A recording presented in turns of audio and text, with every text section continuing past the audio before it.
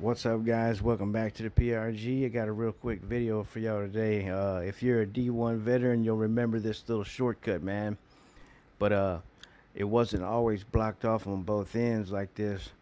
But um, you can still go through here. Just kind of cool. I know it's not very convenient, but over here in the world's grave, though, there's that little shortcut cave that's still here, man.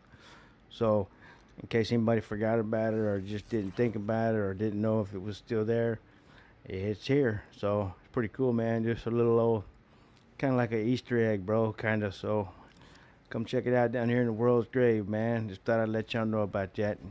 Love every each and one of you. Slap that like button if you like it. Subscribe for more. And if you already subscribed, you know I fucking love it. I'm to see you on the next one. Peace.